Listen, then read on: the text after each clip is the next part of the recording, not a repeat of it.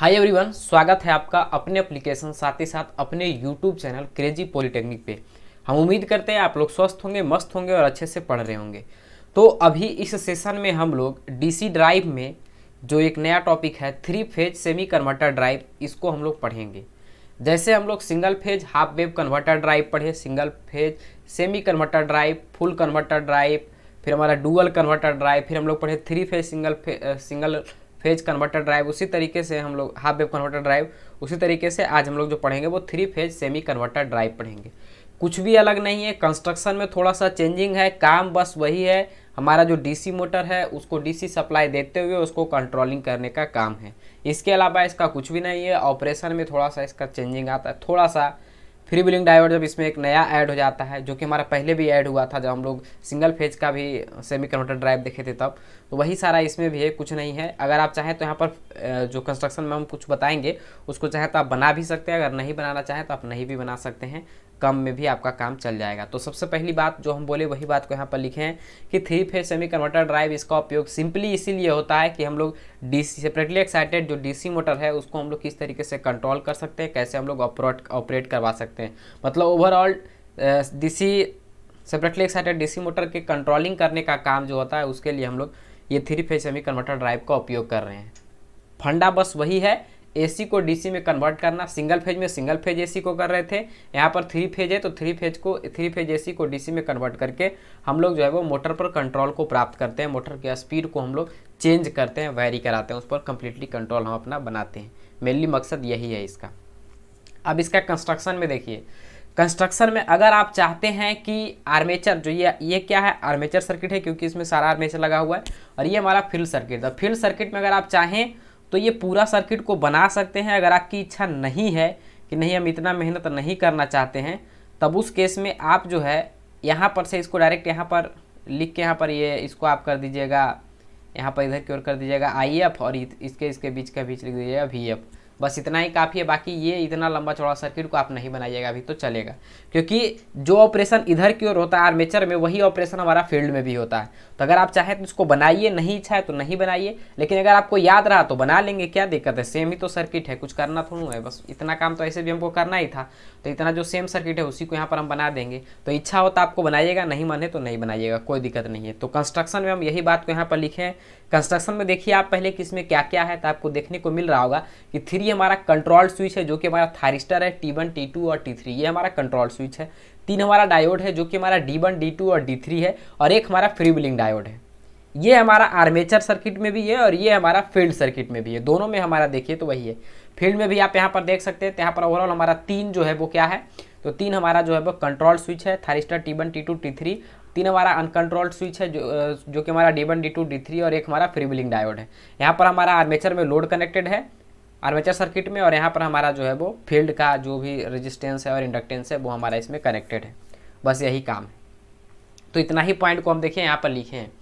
क्या लिखे हैं कि this circuit consist of two converter इसमें दो कन्वर्टर होता है। पहला तो ये आर्मेचर की तरफ़ है, दूसरा हमारा जो है वो फ़ील्ड की तरफ़ है। ठीक है? In armature winding there are three control switch armature winding में तीन कंट्रोल स्विच है, जो कि हमारा एससीआर है जो T one T two T three है और थ्री अनकंट्रोल्ड स्विच है जो कि diode D one D two और डी थ्री है और एक हमारा फ्री बिलिंग डायोड है। लैंग्वेज में कहीं पर आपको कोई दिक्कत नहीं हो होगा। सारा बेसिक जो शुरू से हम किए थे, शुरुआत लैंग्वेज का, वही लैंग्वेज को हम लोग अभी तक लेकर चल रहे हैं और लास्ट तक हम कोशिश करेंगे कि यही लैंग्वेज को लेकर चलें ताकि अगर एक बार आप एक टॉपिक को भी समझ गए तो पूरे टॉपिक के बारे में आप आसानी से लिख सकते हैं। बस थोड़ा थोड़ा चेंजिंग करके उसमें। तो यहाँ तक कंस्ट्रक्शन का जो पार्ट आपको दिखा, वो आप लिख दीजिएगा। नेक्स्ट हमारा है it also consist of separately excited DC motor as a load यहाँ पर लोड में हमारा क्या है? सेपरेटली एक्साइटेड डीसी मोटर है। Here in armature circuit armature voltage is equal to terminal voltage यहाँ पर आर्मेचर वोल्टेज जो है, वो वी आउटपुट जो है, या भी ए जिसको कहिए वी आउटपुट वी ए जो कहिए, ये हमारा टर्मिनल वोल्टेज वी टी जो हमारा ये टर्मिनल सप्लाई वोल्टेज है, उसके बराबर होता है। यहाँ पर तो कोई दिक्कत नहीं, ये आप देखें आर्मेचर सर्किट में। और ये हमारा जो होता है, वो वी एफ़ होता है। मतलब हमारा जो है वो फ़ील्ड वोल्टेज होता है। In field winding there are also three control switch field winding में भी हमारा थ्री कंट्रोल स्विच होता है, जो कि हमारा S R T one T two T three है, और तीन अनकंट्रोल स्विच जो कि diode D one D two और डी थ्री और एक हमारा फ्रीविलिंग डायोड है। Here freewheeling diode only conduct when firing angle alpha is greater than 90 degree और लेस देन 180 डिग्री यहाँ पर याद रखने वाली बात है, जो कि आगे आगे आपके वर्किंग में भी बताएँगे। ये फ्री विलिंग डायोड के कारण इसका वेवफॉर्म जो हम लोग पढ़ेंगे, वो दो वेवफॉर्म पढ़ेंगे। एक तब पढ़ेंगे जब हमारा फ्रीविलिंग डायोड नहीं काम करता है और एक तब पढ़ेंगे जब हमारा फ्रीविलिंग डायोड काम करता है। तो ये फ्रीविलिंग डायोड के चलते यहाँ पर इसका दो केस अलग हो जाता है।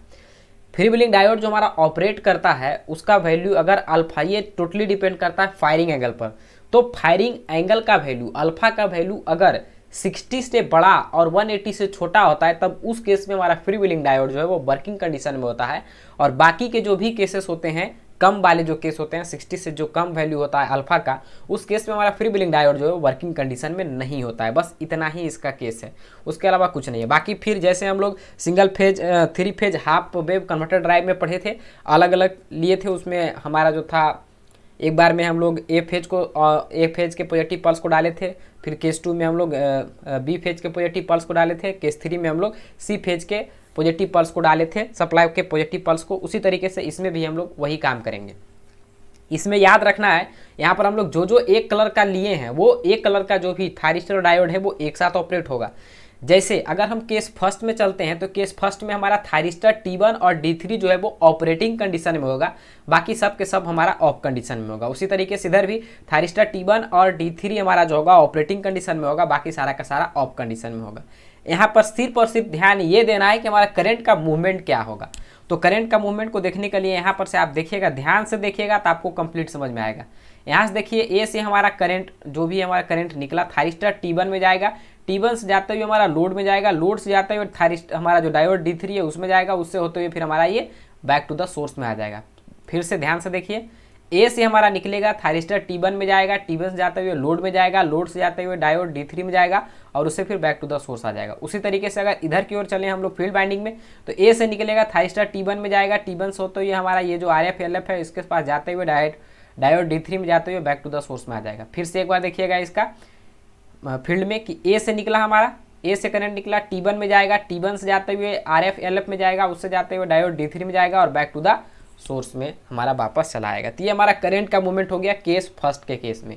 तो यही सारे बात को यहाँ पर हम लोग देखिए, लिखे हैं।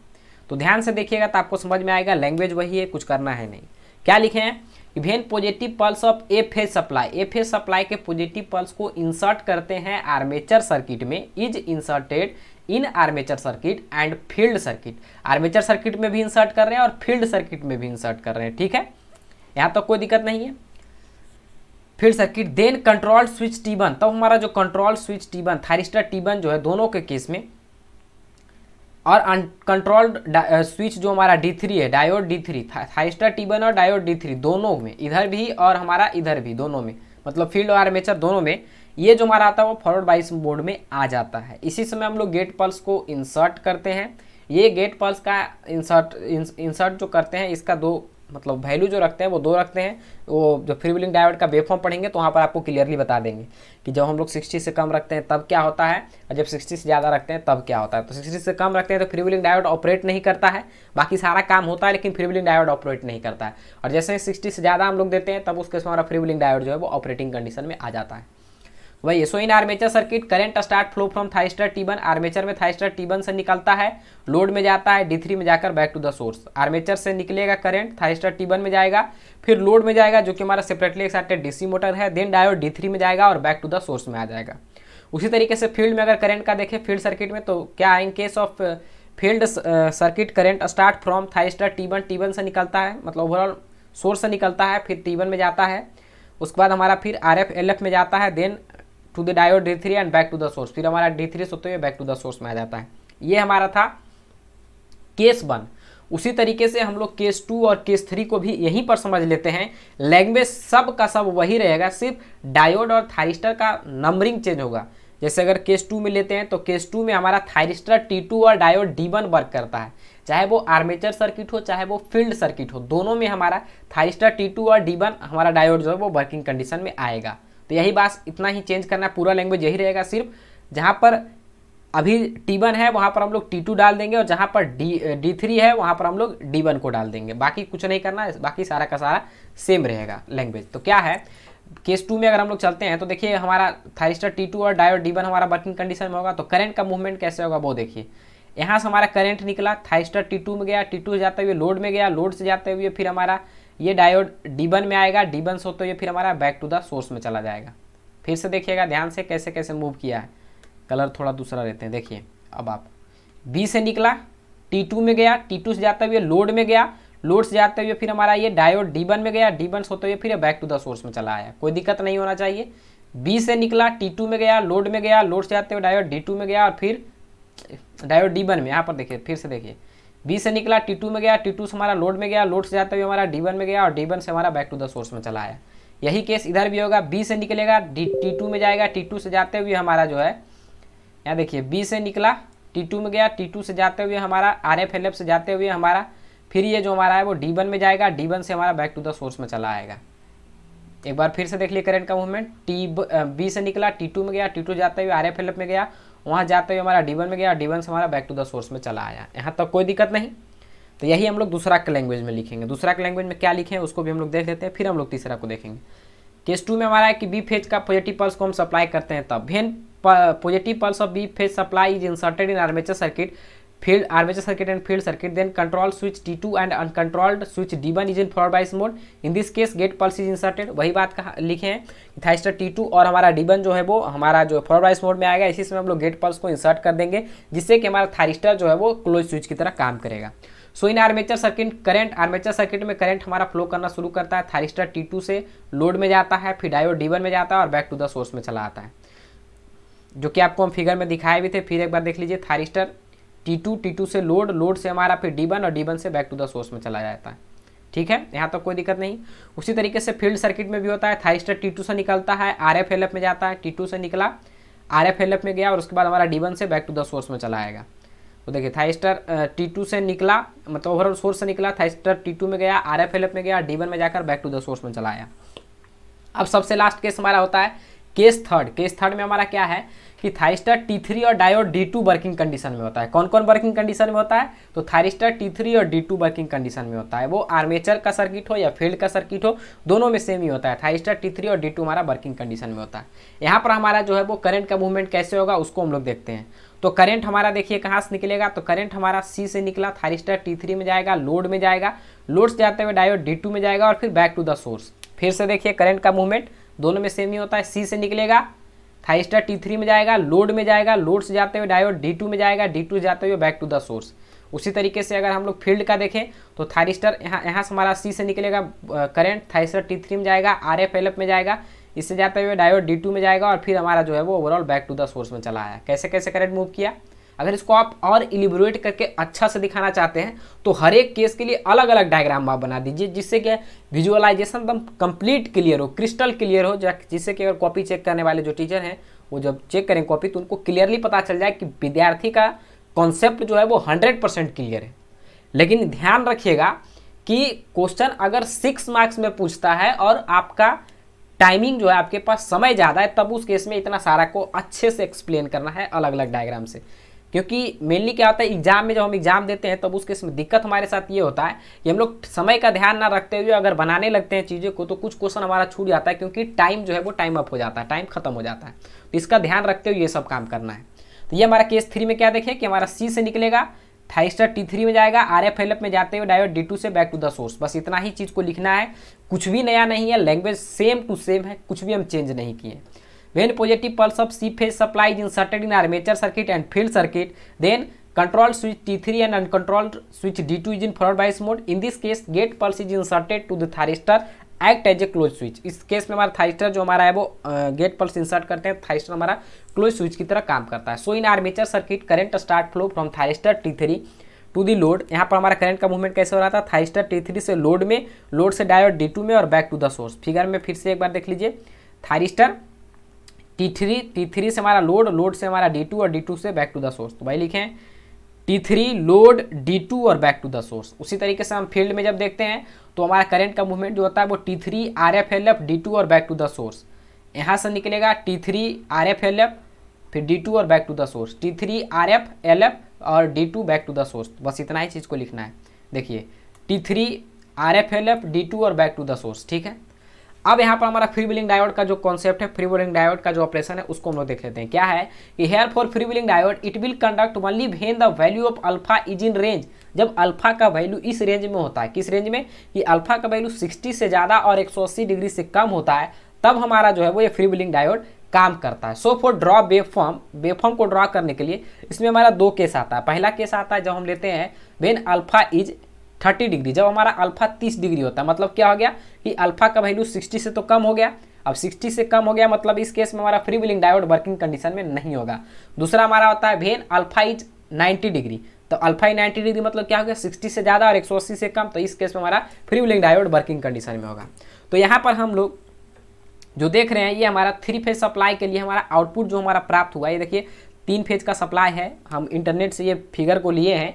जिन्होंने ये फिगर को डाला है, बहुत ही हेल्पफुल हमारे लिए रहा, क्योंकि हमको बनाना ना पड़ा, इसको बहुत ही कम हमको इसमें चेंजिंग करना हुआ, और बाकी सारा का सारा हम वो फ़ोटो को कॉपी किए हैं। तो ये इंटरनेट का फ़ोटो है। देखिए, इसमें क्या है कि तीन कलर से आपको वेब फॉर्म दिख रहा होगा, जो कि हमारा थ्री फ़ेज़ सप्लाई को शो करता है।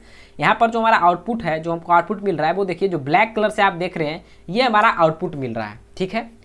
ब्लैक कलर से जो भी आपको देखने को मिल रहा है, ये हमारा क्या है? आउटपुट है। यहाँ पर देखिए, एक चीज़ और हम एड अप करते हैं। कि यहाँ पर जब हमारा थाइस्टर टी वन और डी थ्री काम कर रहा था, तब उस केस में यहाँ पर हमारा जो करंट का मूवमेंट होता है, वो हमारा आई टी वन होता है। उसी तरीके से जब टी टू और डी वन काम करता है तो हमारा करंट का मूवमेंट जो होता है, वो आई टी टू होता है। फिर थ्री के लिए आई टी थ्री होता है। तो ये ध्यान रखिएगा, ये क्या होता है? उसी तरीके से फ़ील्ड में भी वही होता है, ठीक है? तो वही यहाँ पर हम लोग जो बनाए हैं तो हम यहाँ पर आउटपुट में आप लोग देखें कि एक चीज़ और आप देखें वेब फॉर्म क्योंकि पॉजिटिव पल्स लिए सारा का सारा करंट का मूवमेंट इसमें भी लिए थे, इधर ही चला था टी टू में लिए थे, इधर ही चला था टी थ्री में लिए थे, इधर ही चला था। मतलब सबके सब पॉजिटिव था और हमारा कांस्टेंट था। इधर भी देखे थे तो टी वन में इधर चला था टी टू में इधर चला था टी थ्री में इधर। मतलब सबका डायरेक्शन करंट का सेम था। इसलिए हमारा करेंट का जो वेबफॉर्म होगा, वो हमारा क्या होगा? कांस्टेंट होगा। क्या होगा? हमारा कांस्टेंट होगा और ये हमारा पॉजिटिव होगा। तो देखिए करंट का वेबफॉर्म हमारा पॉजिटिव है, यहाँ तक तो कोई दिक्कत नहीं होना चाहिए। ये जो रेंज है, यहाँ से यहाँ तक का जो रेंज है, ये हमारा थाइस्टर टी थ्री के लिए है। यहाँ से यहाँ तक का जो हमारा है, वो टी वन के लिए है। यहाँ से यहाँ तक हमारा टी टू के लिए T three T one T two T three इसी तरीके से हमारा चलते रहता है। तो हमारा आउटपुट जो मिलता है, ये देखिए वी सी बी यहाँ तक है। इसके बाद हमारा ये अल्फ़ा अल्फ़ा जो हम लोग फायरिंग यूज़ करते हैं, वो है, फिर हमारा ये वी ए बी है, फिर वी ए सी है, फिर वी बी सी है, फिर V A V B A है, फिर हमारा वी सी ए है। इसी तरीके से हमारा कंटिन्यू चलते रहता है। तो इस केस में हमारा जो हम आई टी वन को निकालते हैं तो वो हमारा I T one I T one किसके लिए? थाइस्टर टी वन के लिए।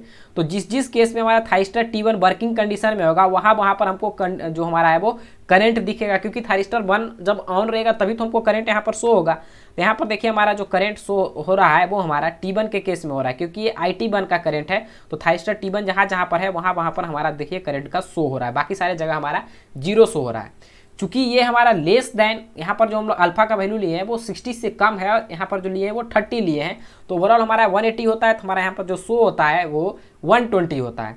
यहीं पर अगर हम लोग केस दूसरा लेंगे, जब हम लोग अल्फ़ा का वैल्यू 90 डिग्री लेते हैं, तब उस केस में बेफॉर्म सारा का सारा सेम टू सेम वही रहता है। बस इसमें एक फ्री विलिंग डायोड ऑपरेट करता है, जिसके कारण कि यहाँ पर देखिए जो हमारा बेफॉर्म बना है, वो हमारा जो बनता है, पहले हमारा 120 डिग्री का था, अब यहाँ पर जो हमारा आई टी बन का जो वैल्यू हमको मिला है मतलब करंट का जो वैल्यू मिलता है, वो 90 डिग्री तक ही मिलता है 90 डिग्री पूरा ही मिलता है। जैसे यहाँ पर ये देखिए, ये यहाँ से यहाँ तक पूरा है, लेकिन पूरा में ये ना बनकर एक शॉर्ट डिस्टेंस में हमारा 90 डिग्री तक ही ये बना है। जहाँ जहाँ हमारा टी है, वहाँ वहाँ पर ये हमारा बनता है। तो इस तरीके से हम इसके वेब फॉर्म को भी बना सकते हैं। ये टेबल को आप लोग ज़रूर बना लीजिएगा, जब वेब फॉर्म आप बनाइएगा तब, दोनों में, दोनों केस में आप टेबल को ज़रूर बनाइएगा। तो हम उम्मीद करते हैं कि आपको three phase semi converter drive में कहीं पर भी कोई दिक्कत नहीं हो रहा होगा।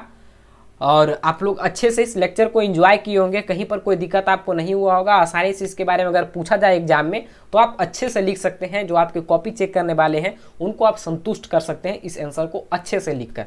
तो ठीक है, मिलते हैं नेक्स्ट सेशन में एक नए कंटेंट के साथ, एक नए जोश के साथ। तब तक आप लोग रिवाइज कर